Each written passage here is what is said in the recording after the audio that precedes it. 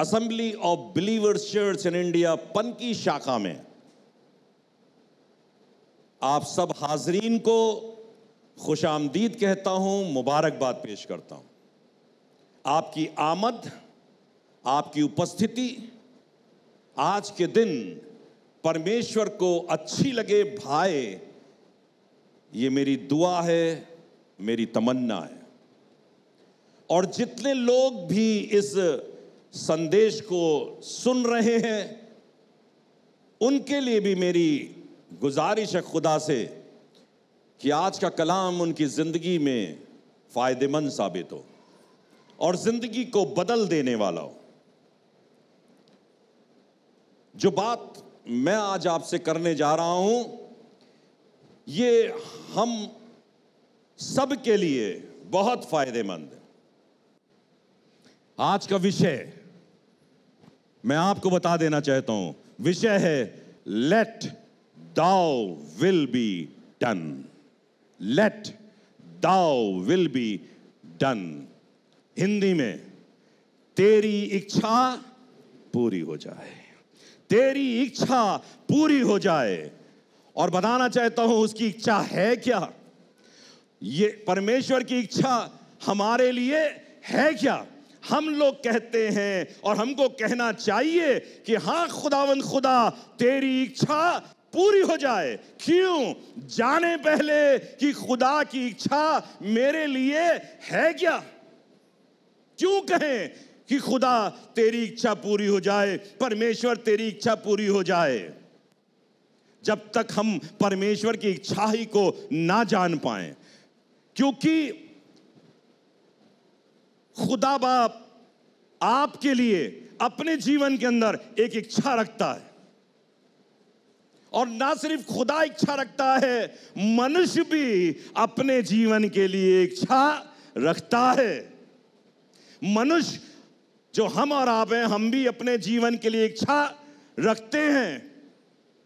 और आपको बताना चाहता हूँ, शैतान भी आपके लिए इच्छा रखता है। कुछ इच्छा है शैतान की। तो आज हम ये कुछ बातों पर गौर करेंगे और समझेंगे इन चीज़ों के अंदर। और जब इसकी गहराई में उतरेंगे तो पता चलेगा let thou will be done तेरी इच्छा पूरी हो जाए, तब पता चलेगा कि हमको बुलंद आवाज़ से कहना पड़ेगा, खुदावन, खुदा, मेरे दिल की तमन्ना है कि तेरी इच्छा पूरी हो जाए। कई बार कोशिश करी, हम अपनी इच्छा पूरी कर लें। अपनी ज़िंदगी के अनुसार चले। नुकसान उठा लिया परेशान हाल हो गए। एक आयत निकाली खुदावन के कलाम के अंदर मुंदरज है खुदा की इच्छा हमारे लिए क्या है? यहोशू यहोशू की पुस्तक उसका पहला अध्याय और उसके पाँचवें पद को पढ़ें। यहोशू की पुस्तक पहला अध्याय पांचवा पद। पढ़िए मेहरबानी से क्या लिखा हुआ है यहाँ पर? हाँ। तेरे जीवन भर तेरे जीवन भर कोई तेरे सामने कोई तेरे सामने ठहर ना सकेगा। ठहर ना सकेगा। आपको बताना चाहता हूँ कि मूसा इज़राइली कौम की अगुवाई कर रहा था। मूसा एक बड़ी भीड़ को लेकर मिस्र देश से निकला आ रहा है और अगुवाई करके कहाँ ले जा रहा है? कनान मुल्क में ले जा रहा है। लेकिन हुआ कुछ ये कि रास्ते ही में कुछ ऐसा हो गुजरा कि खुदा को कहना पड़ा, अब मूसा, तू इन लोगों को कनान मुल्क में ले जाने नहीं पाएगा। अब तू नहीं ले जा पाएगा, क्योंकि मैंने ये सोचा है कि यहोशू तेरी जगह पर इस काम को पूरा करेगा। और मूसा मर गया। ध्यान दे के सुनिएगा, मूसा मर गया। अब कमान ये यहोशू के हाथ में आ गई। अब यहोशू एक बड़ी भीड़ को लेकर कनान की तरफ़ आने, जाने के लिए अग्रसर है। लेकिन वो सोच रहा है, अरे भाई, मूसा, आप चलते थे, खुदा आपसे बातचीत करता था, खुदा आपकी अगुवाई करता था। मेरी मेरी क्या हकीकत है? मैं कौन सी हकीकत रखता हूँ? तब खुदा ने यहोशू से बातचीत करी। खुदा ने किससे बातचीत करी? यहोशू से बातचीत करी। और यहोशू से एक लंबी बात इस अध्याय के अंदर पाई जाती है। और खुदा ने कहा पढ़िए मेहरबानी से यस तेरे जीवन भर तेरे जीवन भर कोई तेरे सामने कोई तेरे सामने ठहर ना सकेगा। अरे भाई हम कनान मुल्क में जाना चाहते हैं लेकिन हम जानते हैं कि कनान मुल्क में तो बहुत सी जातियाँ रहती हैं। बहुत से लोग हैं जो कनान मुल्क के को अपने इख्तियार में लिए हुए हैं। राज्य हैं राजा हैं। और तू कह रहा है कनान मुल्क को ले लो। तो हम कैसे कनान में दाखिल होंगे? यहोशू के हो सकता पैर काँप रहे हो। यहोशू के दिमाग में बहुत सी बातें चल रही हो। क्या है खुदा? तूने कह तो दिया अब मैं कैसे जाऊँ उनके पास? तब खुदा यहोशू से कहने लगा कि तेरे जीवन तेरे जीवन भर कोई तेरे सामने कोई तेरे सामने ठहर ना सकेगा ठहर ना सकेगा। घबरा मत मूसा। आए मूसा, मैंने अगर तेरे लोगों की ज़िम्मेदारी तुझे बख्शी है, तू बिल्कुल भी डर मत। कई बार लोग अगुवाई करने में डरते हैं। कहने, कैसे अगुवाई करेंगे? बड़े ढेर सारे लोग हैं, लाखों लोग हैं, करोड़ों लोग हैं, मैं कैसे अगुवाई करूँगा? ये क्या मेरी सुनेंगे? क्या ये मेरी बात मानेंगे? क्या मेरी इनके सामने चलेगी? तो खुदा कहने लगा, तेरे सामने यहोशू कोई ठहर नहीं सकेगा।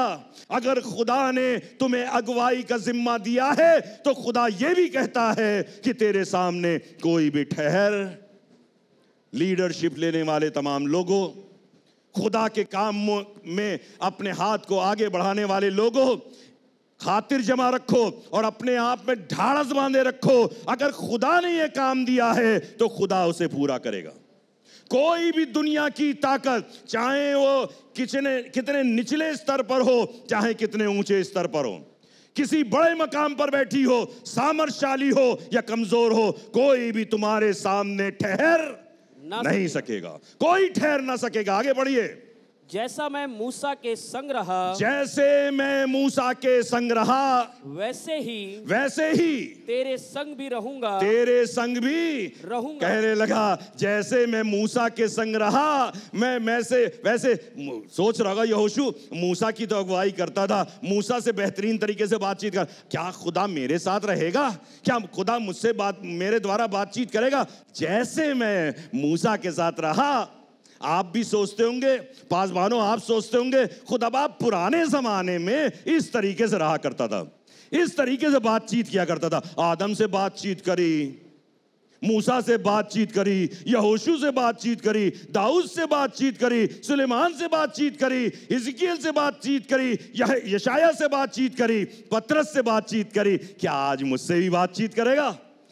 मैं आपको बताना चाहता जैसे मैं मूसा से बातचीत किया करता था वैसे ही तेरे साथ भी रहूँगा। मैं तेरे साथ भी रहूँगा। आगे चलिए हाँ। और ना तो मैं तुझे धोखा दूँगा। और ना तो मैं तुझे धोखा दूँगा।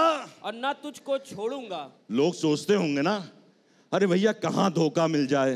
कहाँ पर गड़बड़ी हो जाए कहाँ पर खुदा का साथ छूट जाए ना तो मैं तुझे धोखा दूँगा और और ना तुझको छोड़ूँगा। और ना मैं तुझे ये है खुदा की इच्छा हमारे और आपके लिए।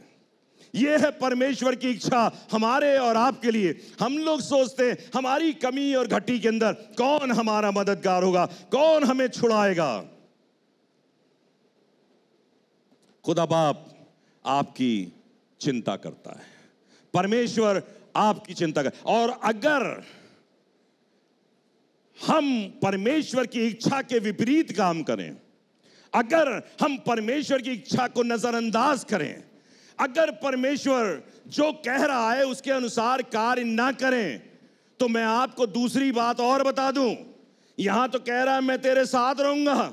मैं तुझे धोखा नहीं दूँगा, मैं तुझे त्यागूँगा नहीं, लेकिन एक जगह पे लिखा हुआ है कि इसराइली लोगों ने अपराध किया।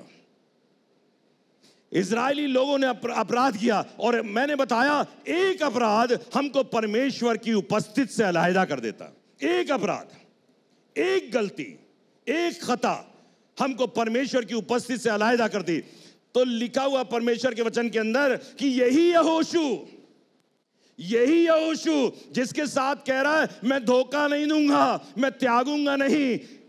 ये यहोशू ये देख रहा है ए नगर को जीतने के लिए इजरायली सेना गई, तीन हज़ार योद्धा जाके ए नगर को लेने के लिए गए, जिसके लिए बाबा तभी थोड़े समय पहले कह रहा था, खुदा, कि मैं तेरे साथ रहूँगा और कोई भी तेरा सामना नहीं कर पाएगा। और यहोशू देख क्या रहा है? यहोशू देख ये रहा है कि आज मेरे लोग, मेरे योद्धा उन दुश्मनों को पीठ दिखाते हैं। भाग रहे हैं उनके सामने में से। उनके सामने से भाग रहे हैं। क्या हो रहा पीठ कैसे दिखाई जाती है? जब हम दुश्मन के से डर कर भागते हैं तो पीठ दिखाई जाती है। ये भाग रहे हैं तो यहोशू बहुत हिरासान हो गया। यहोशू बहुत परेशान हो गया। खुदा ने उससे बातचीत करी और खुदा ने उससे कहा अरे यहोशू, तू क्यों परेशान है? मेरा वायदा अभी भी हाँ और आमीन के साथ तेरी ज़िंदगी में पूरा होने वाला है।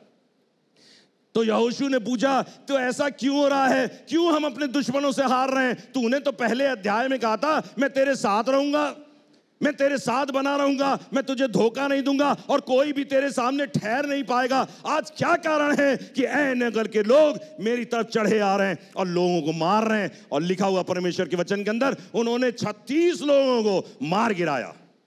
मार दिया, जान ले ली उनकी। तो खुदा ने कहा, सातवां अध्याय और उसके बारहवें पद में किस इसलिए लिखा है? इस कारण इज़राइली अपने शत्रुओं के सामने खड़े नहीं रह सकते। वे अपने शत्रुओं को पीठ दिखाते हैं, इसलिए कि वे आप अर्पण की हुई वस्तु बन गए। क्या किया? आकान ने चुरा लिया। कुछ सामान था, सोना, चांदी, पीतल, लोहा, ये वहाँ से चुरा ले आया और जाकर अपने मकान में गाड़ लिया। परमेश्वर ने कहा था, बेटा, चोरी ओरी ना करना, सारी चीज़ों को तहे तेक कर देना, सब में आग लगा देना, लेकिन इन चीज़ों को, जो अर्पण की वस्तु है, इनको परमेश्वर के भवन में लाकर रख देना। आज भी परमेश्वर हमसे और आपसे यही बातचीत करना चाहता है। वो कह रहा है कि बेटा मैं तुम्हारे साथ रहूँगा। कई बार हम परेशान होने लगते हैं, क्या कारण है? सब कुछ करने के बाद भी हो नहीं पा रहा है। हम गलत काम करते हैं। हम परमेश्वर के ज्ञान के विरोध में खड़े हो जाते हैं। हम उसकी इच्छा की पूर्ति नहीं करते। आप बताऊँ, मनुष्य की अपने जीवन के अंदर बहुत सी इच्छाएँ होती हैं। हमने बताया परमेश्वर की आपके जीवन के लिए इच्छा है, लेकिन मनुष्य की भी अपने जीवन में इच्छाएँ होती हैं। और खुदा के कलाम में लिखा हुआ है ऐसा, उत्पत्ति की पुस्तक और उसके तेरहवें अध्याय के नवे पद के अंदर ऐसा लिखा है, अब्राहम और उसका भतीजा लूत, सुना है ना लूत का नाम? अब्राहम और उसका भतीजा लूत। परमेश्वर की आज्ञा को पालन करते हुए उस देश की तरफ़ बढ़ गए, जो देश परमेश्वर ने अब्राहम को देने का वायदा किया था। लेकिन ऐसा लिखा है कि कुछ समय गुजरने के बाद उनके चरवाहों, अब्राहम के चरवाहों और लूत के चरवाहों में झगड़ा हो गया, क्योंकि रास्ते में उनका माल काफ़ी बढ़ गया था। उनकी भेड़ बकरियाँ बहुत बढ़ गई थी। तो अब्राहम ने लूत को बुलाया अपने भतीजे को बुलाया। कहने लगा, हम लोग चले तो थे साथ में, लेकिन हम देखते हैं कि हमारे और तेरे बीच में कोई ना इतफाकी ना आ जाए, इसलिए हम चाहते हैं तू एक दूसरा मार्ग ले ले और हम दूसरा मार्ग ले लें। एक पहाड़ पर खड़े हुए। अब्राहम ने कहा, अगर तू दाएँ जाएगा तो मैं बाएँ जाऊँगा। अगर तू बाएँ जाएगा तो मैं दाहिने जाऊँगा। लेकिन ये इच्छा मैं तेरे ऊपर छोड़ता हूँ। तू जैसा चाहे फैसला ले ले। मनुष्य के जीवन के अंदर अपनी इच्छाएँ होती हैं। तो लूत ने देखा कि एक जगह है सदोम और गमोरा का इलाका, जो बहुत फर्टाइल लैंड है, बहुत हरा भरा है। लूत को चाहिए था कि वो परमेश्वर से पूछता अय परमेश्वर, तेरी इच्छा मेरे लिए क्या है? मैं क्या करूँ? लेकिन उसने नहीं पूछा, क्योंकि मनुष्य के जीवन के अंदर अपनी इच्छाएँ होती हैं। और हर मनुष्य अपनी इच्छा के वशीभूत होकर कई बार परमेश्वर के विरोध में खड़ा हो जाता है। और उसने सदोम और गमोरा का इलाका देखा और कहा, बहुत फर्टाइल लैंड है। उसने नहीं सोचा, मेरे चाचा क्या सोचेंगे? अब्राहम को खुदा ने आज्ञा दी थी, ले चल। और मैं भी उसके साथ हो लिया। अब्राहम के बारे में नहीं सोचा। अब्राहम को एक ऐसा इलाका छोड़ दिया जो शायद फर्टाइल नहीं था। उस समय देखने में फर्टाइल नहीं लग रहा, लेकिन लोग हर एक जन अपने लिए बेहतर ढूंढ लेता। मेरा माल बेहतर, मेरी जगह बेहतर, मेरे काम बेहतर। लेकिन आपको बताना चाहता हूँ, हुआ कुछ उल्टा। पता है ना आपको? कुछ ही दिनों के बाद सदोम और गमोरा देश आग से नाश कर दिया गया, खत्म कर दिया गया। परमेश्वर बहुत क्रोधित था उस देश के ऊपर, क्योंकि वहाँ पर परमेश्वर के खिलाफ कार्य किए जाते थे। मनुष्य के जीवन के अंदर बहुत सी कल्पनाएँ मनुष्य अपनी कल्पनाओं के साथ कार्य करना चाहता है, लेकिन परमेश्वर यह चाहता है कि मेरी इच्छा, परमेश्वर की इच्छा भी पूरी हो। लेकिन साथ साथ परमेश्वर इतना दयालु है, इतना कृपालु है, वो ये चाहता है कि मैं ये भी चाहता हूँ कि मेरे बच्चों की भी इच्छा पूरी हो जाए। मेरे बच्चों की, यानी कि हमारी और आपकी भी इच्छा पूरी हो जाए। परमेश्वर ये कतई नहीं चाहता कि सिर्फ़ उसी की इच्छा पूरी हो और आपकी इच्छा पूरी ना हो। एक आयत दूँ, बहुत सुंदर आयत है। लिखा हुआ है कि उसके मन में हमारे लिए बहुत सी परमेश्वर के मन में हमारे लिए कितनी कल्पनाएँ?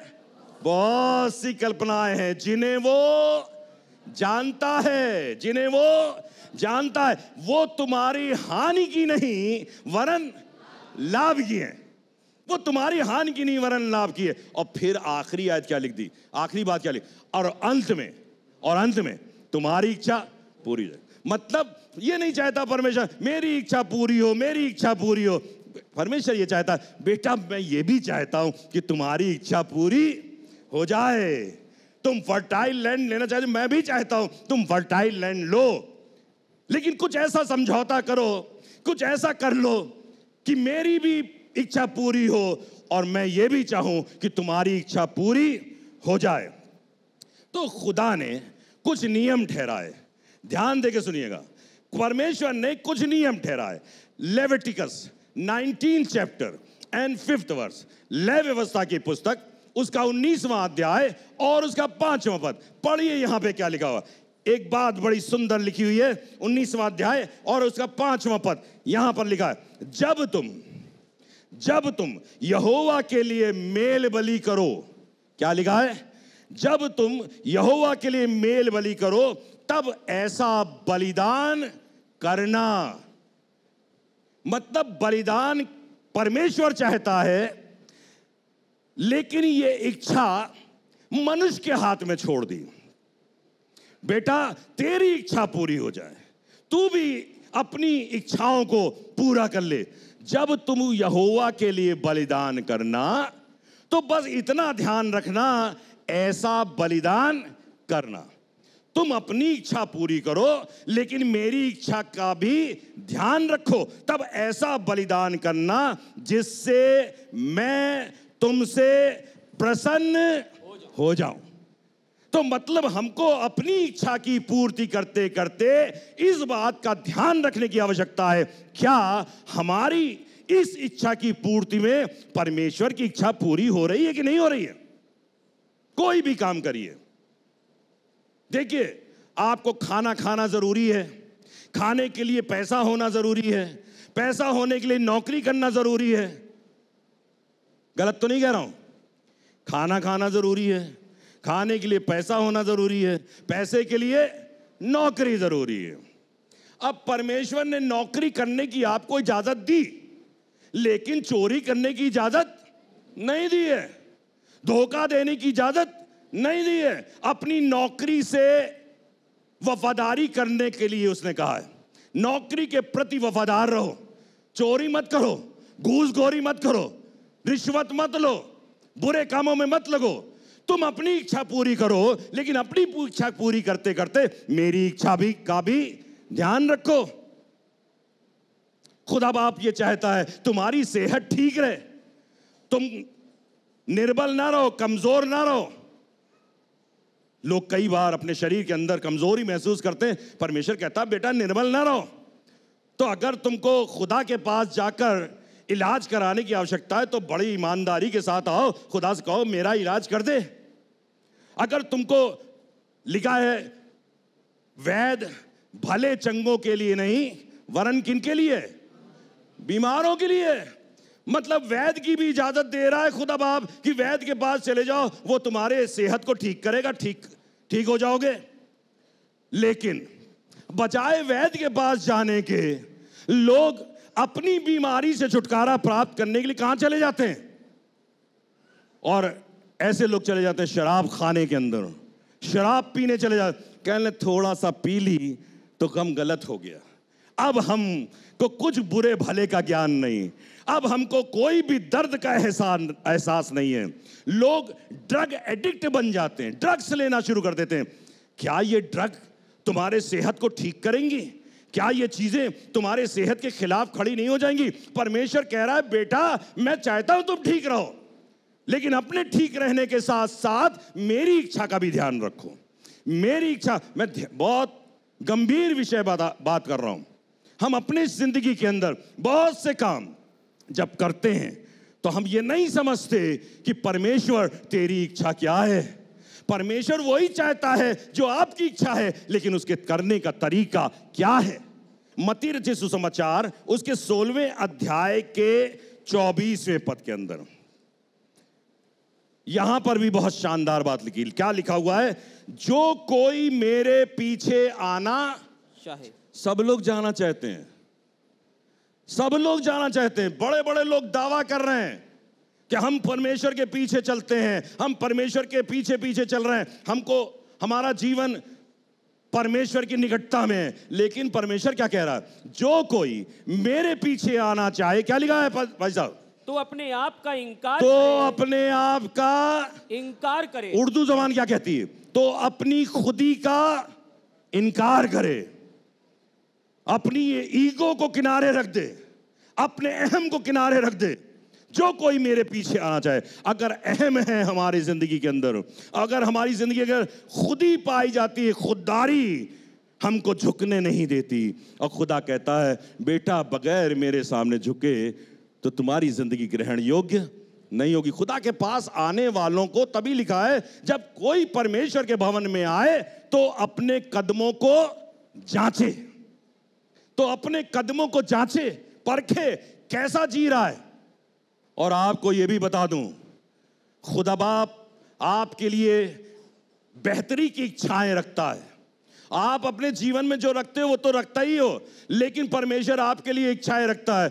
और बड़ी खतरनाक बताने जा रहा हूँ बात, और वो ये है, शैतान जो इस दुनिया का राजा है, वो भी आपके लिए इच्छाएँ रखता है। अब परखने की ज़रूरत है किसकी इच्छा पूरी करेंगे आप।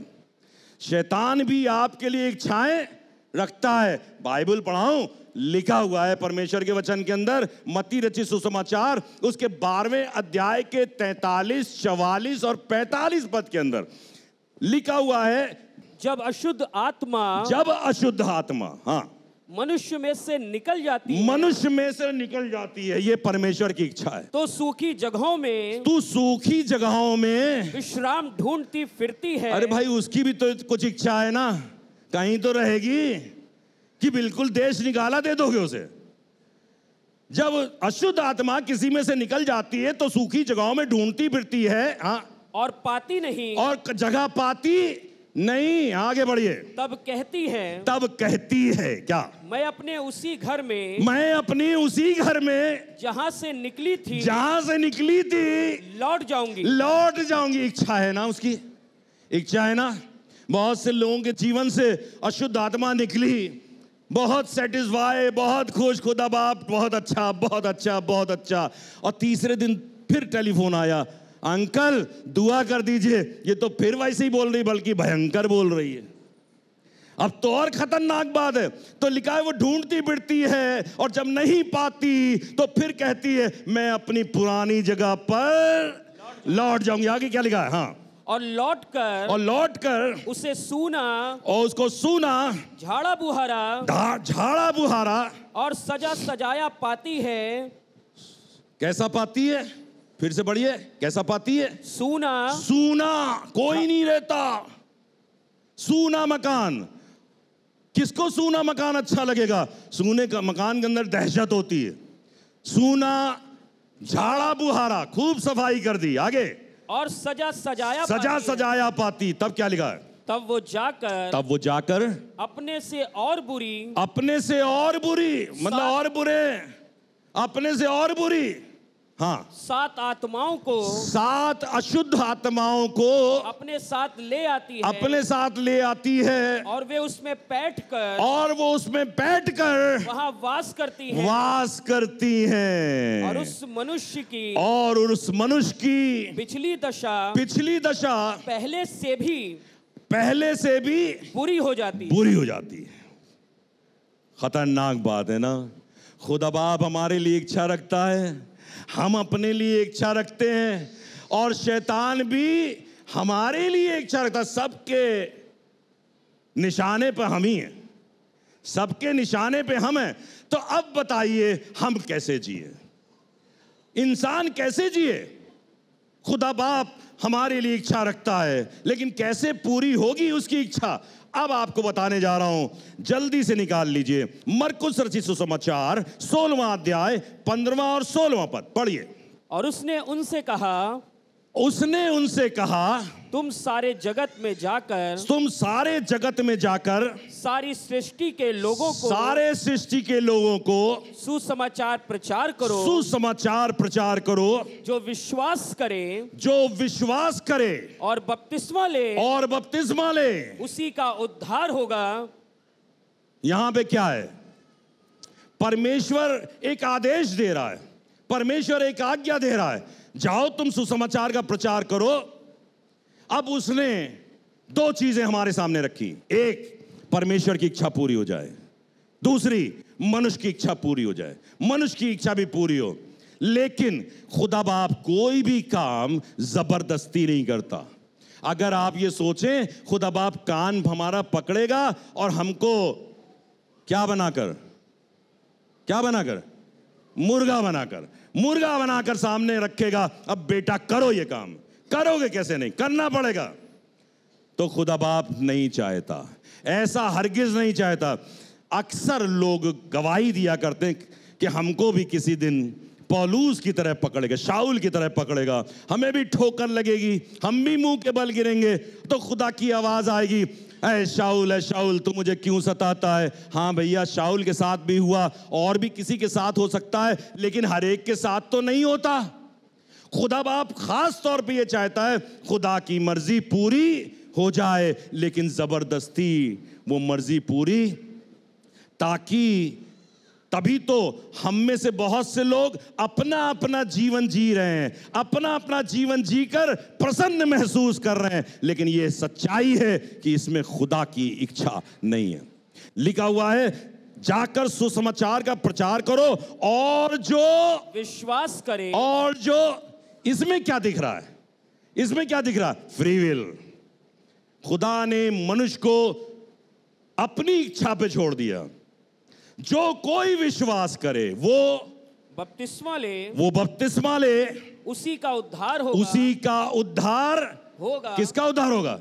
जो विश्वास करे और बपतिस्मा ले। परमेश्वर की इच्छा है उद्धार हो जाए। लेकिन परमेश्वर ज़बरदस्ती आप में से किसी का भी उद्धार नहीं करेगा। मत सोचिएगा हम बहुत अच्छे लग रहे हैं बहुत अच्छे कपड़े पहने हुए हैं हम बाइबल भी पढ़ते हैं हम ये भी करते हैं बहुत सुंदर चर्च भी जाते हैं गाने भी गाते हैं लेकिन जो विश्वास करे और बपतिस्मा ले, ले उसी का उद्धार होगा। होगा। आगे बढ़िए। परंतु जो विश्वास ना करेगा जो विश्वास ना करेगा वो दोषी ठहराया जाएगा। क्या लिखा है? मतलब यहाँ फ्री विल है।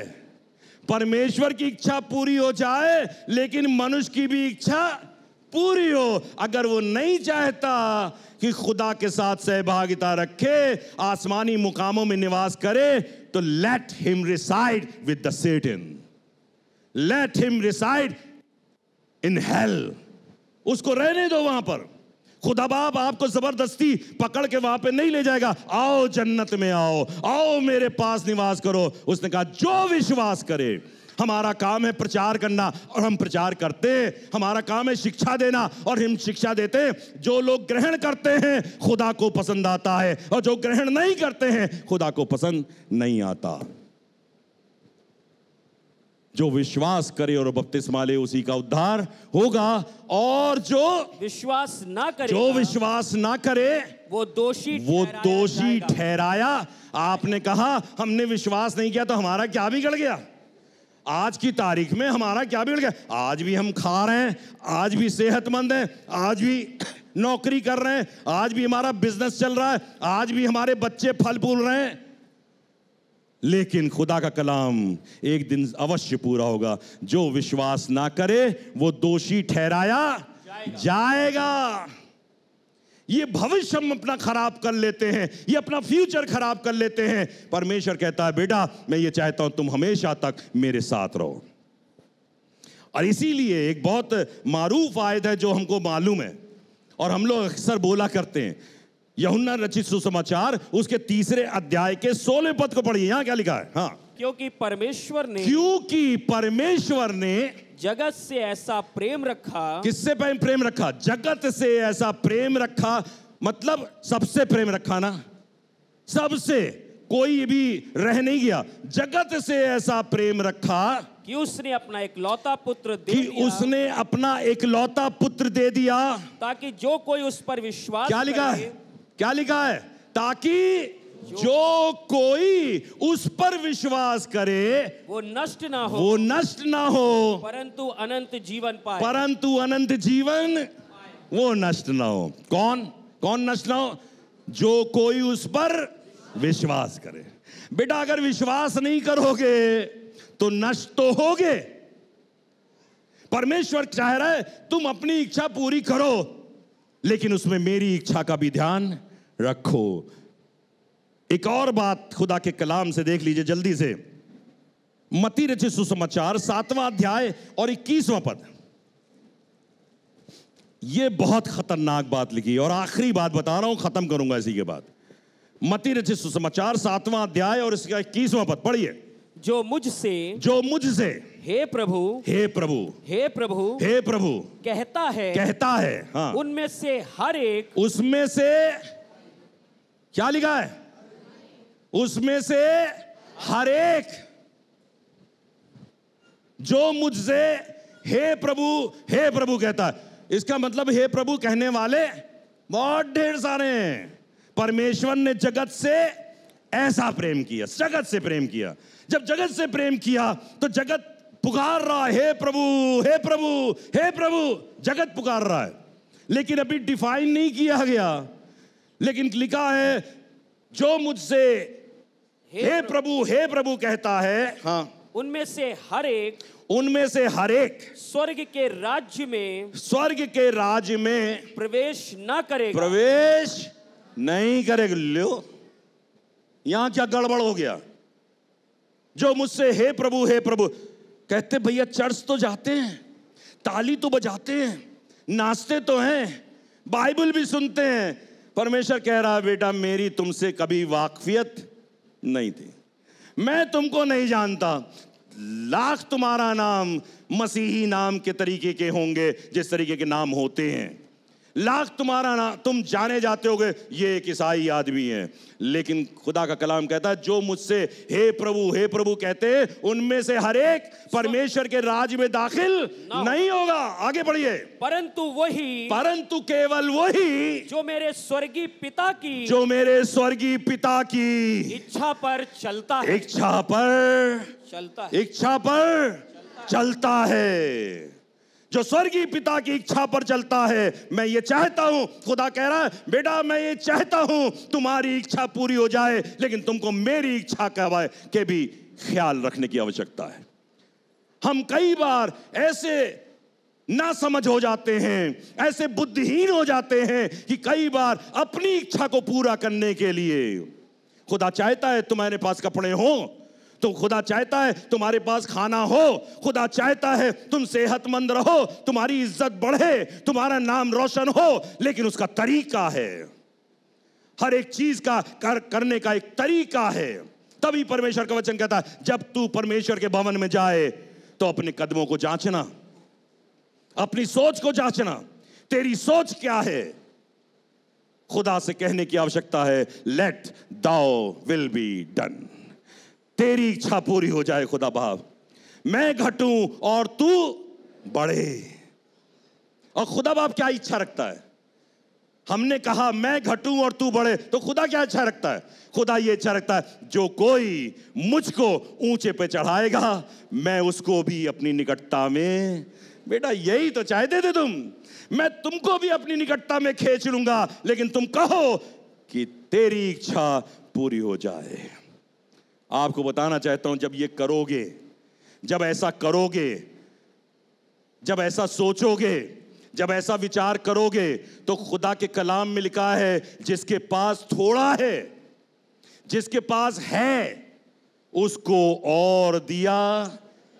अपनी, अपने जेब के अंदर जितना पैसा है, उस पर कनायत करो, उस पर स्थिर रहो, उस पर भरोसा रखो कहो, खुदा बाप, मेरी जेब में अगर दस रुपए हैं, मुझे मालूम है कि मैं भूखा उठा तो हूँ, लेकिन भूखा सोऊँगा नहीं। उससे कहो, मेरे, मेरी सेहत खराब है, खुदा बाप, मेरे पास कम पैसे हैं, लेकिन तू डॉक्टरों का डॉक्टर है, राजाओं का राजा है, वैदों का वैद है, तू मेरी सेहत का ख्याल रखता है, तू सेहत ठीक रखना जानता है। उससे कहो, मत करो चोरी, मत करो जिना, मत करो व्यविचार मत झूठ बोलो। क्योंकि ये चीज़ें तुमको नरक की ओर आगे ले जाएँगी। जो मुझसे, हे प्रभु हे प्रभु कहते हैं, उनमें से हर एक परमेश्वर के राज्य में दाखिल नहीं होगा। लेकिन केवल वो ही जो मेरे बाप की इच्छा को पूरी ध्यान दीजिए अपनी ज़िंदगी के अंदर, ध्यान दीजिए अपने खानदानी ज़िंदगी के अंदर, ध्यान दीजिए अपनी नौकरी, अपने बिज़नेस के अंदर, क्या हम परमेश्वर की इच्छा को पूरा कर रहे हैं? अगर हम परमेश्वर की इच्छा को पूरा करें खातिर जमा रखो, परमेश्वर ने जगत को जीत लिया है। ये दुनिया की कोई भी चीज़ आपको हिरासा और परेशान नहीं कर सकती बिलीव इट लिखा हुआ खुदा के कलाम के अंदर खुदा ने यहोशू से कहा, कोई दुश्मन तेरे सामने ठहर, नहीं ठहर पाएगा। होगा लहीम शहीम, होगा जाति जूलियत की तरह, होगा बड़ा कद्दावर। दिख रहा होगा देखने में, इसका मुकाबला कौन करेगा? लेकिन एक छोटा बच्चा दाऊद कहने लगा, आज मैं तेरे सर को तेरे धड़ से अलग करूँगा। आज मैं तेरे सर को धड़ से अलग करूँगा और तेरे मांस को आकाश के पक्षियों से खिलवा दूँगा। दुश्मन चाहे कितना भी बड़ा हो बिलीव इट अगर आप खुदा के साथ चल रहे हो, फतेह आपकी है। इसलिए खड़े हो जाइए अपनी जगह पर और बुलंद आवाज़ से खुदा से कहिए let thou will be done तेरी इच्छा पूरी हो जाए। अपने हाथों को उठाइए, अपने खुदा से कहिए हाँ खुदा बाप मैंने कई बार चाहा कि मैं अपनी इच्छा को पूरी कर लूँ। और मेरी इच्छाएँ हमेशा मुझे परेशानी में मुब्तला करने पाए खुदा बाप मेरी इच्छाएँ तो खराब हैं, लेकिन मुझे यह भी मालूम है, तू मेरी इच्छाओं की कदर करता है, तू मेरी चिंता करता है। मैं अपनी नौकरी में निष्फल हो जाता हूँ। मैं अपने बिज़नेस में फेल हो जाता हूँ। मैं अपने कार्यों में फेल हो जाता हूँ। मैं अपने खानदान के बंदोबस्त में फेल हो जाता हूँ। क्या कारण है खुदा बाप? आज मुझे बताइए, मैंने आपके कलाम से जाना है कि तुझे मेरी चिंता है, तू मेरी फ़िक्र करता है। हम क्योंकि अपने आप अपने लिए कुछ भी बेहतर व्यवस्था नहीं कर सकते। खुदा बाप हम जानते हैं तू वो खुदा है जो हमारी पल पल की रक्षा करना जानता है। तू हमारे लिए फिक्रमंद रहता है। हमारी ज़िंदगी हम को भूख में जाने नहीं देता, हमको नंगा रहने नहीं देता, हमें बीमार रहने नहीं देता। तू आसमान को छोड़कर ज़मीन पर इसीलिए आया और कोड़े खाए ताकि हम चंगे कर दिए जाए। खुदा बाप हमें माफ़ कर। हमारी नाफरमानी के अनुसार हमसे व्यवहार न कर। हमको माफ़ कर दे और हमें शुद्ध कर दे अपने पवित्र लहू से। और जितने लोगों ने इस कलाम को सुना है, उनकी ज़िंदगी के अंदर ये पैवस्त हो जाए। हर एक जन चाहता है तरक्की करे, हर एक जन चाहता है उन्नति करे। हर एक जन बुलंदियों को देखना चाहता है, लेकिन हम ये जानते हैं, सबसे ज़्यादा ऊंचाई पर तो तू ही विराजमान है। बुलंदियों पे तो तू ही है। और तूने कहा है, यदि तुम मुझे ऊँचे पर चढ़ाओगे तो मैं तुमको अपने पास खींच लूँगा। ऐ खुदा बाप, हम तेरी निकटता में आ जाना चाहते हैं। हमारी मदद कर, हमारी मदद कर, और सब सुनने वालों की मदद कर और ये प्रार्थना को अपने उद्धार करता हम यीशु मसीह के नाम में होकर मांग लेते हैं। सुन लीजिए और कबूल भी कर लीजिए और सब मिलकर बुलंद आवाज़ से कहें, आमीन।